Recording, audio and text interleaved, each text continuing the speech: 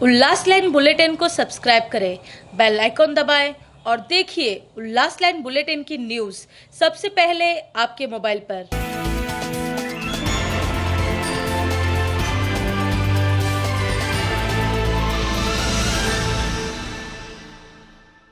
नमस्कार, मी Amruta Bharati. Ulhas line bulletin मध्ये आपलं स्वागत आहे। स्वर्गीय रोहित भोईर यांच्या वाढदिवसानिमित्त रोहित भोईर प्रतिष्ठानतर्फे रक्तदान शिबिराचे आयोजन करण्यात आले.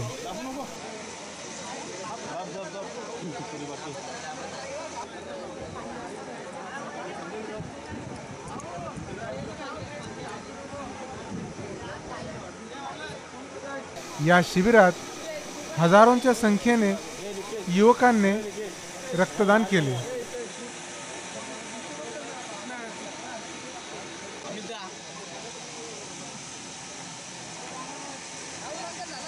स्वर्गीयवासी रोहितभाई भोईर प्रतिष्ठानतर्फे आज रोहितभाई भोईर यांच्या जन्मदि वाढदिवसानिमित्त रक्तदान शिबिराचे आयोजन केलेले आहे.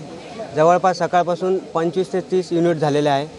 अशी प्रतिष्ठानची अपेक्षा आहे की दोनशे युनिटची अपेक्षा आहे की दोनशे युनिट होतील. एवढे आजूबाजूच्या गावातील युवा सामील होतील अशी प्रतिष्ठानची अपेक्षा आहे. आणि आता मागेच म नेत्र चिकित्सा शिबिर पण आयोजन केलं होतं.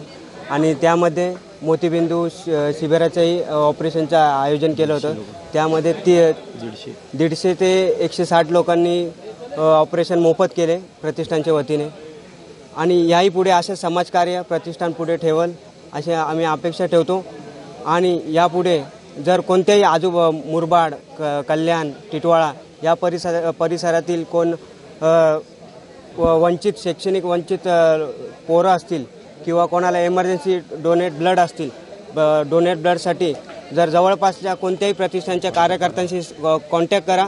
आमच्याकडून जेवढं होईल तेवढं फुल ना फुलाची पाकळी म्हणून आमच्याकडून जेवढं होईल तेवढं आम्ही आमच्या परीने मदत करू. आणि असं आम रोहितभाई भोईर प्रतिष्ठानतर्फे आव्हान कर गव गवाही देतो. जय हिंद जय महाराष्ट्र. स्वर्गीय रोहित रमेश भोईर यांच्या वाढदिवसानिमित्त आज रक्तदान शिबिर आयोजित केलेलं आहे. आम्ही सर्व रोहितभाई भोईरचे मित्र. आम्ही प्रतिष्ठानचा एक म्हणजे रोहितभाई भोईर यांचं प्रतिष्ठान स्थापन केलेलं आहे. त्यांच्या प्रतिष्ठेमार्फत आम्ही गोरगरिबांसाठी नेहमीच मदत करत राहू. कारण की रोहितभाई भोईर हा प्रत्येकासाठी कधीही सर्वांना गोरगरिबांसाठी मदत करण्यासाठी तत्पर उभा राहायचा. त्यामुळे आम्ही त्यांच्या नावाने प्रतिष्ठान स्थापन केलेले आहे व त्यांच्या प्रतिष्ठेमार्फत आम्ही सर्वीकडे कल्याण ठाणा मुरबाड शहापूर मारळ वरप रायता या ठिकाणी आम्ही कोणासाठी काही मदत असेल, आम्ही त्यांना करू जय हिंद, जय महाराष्ट्र. उल्लास लाइन बुलेटिन को सब्सक्राइब करें, बेल आइकॉन दबाएँ और देखिए उल्लास लाइन बुलेटिन की न्यूज़ सबसे पहले आपके मोबाइल पर।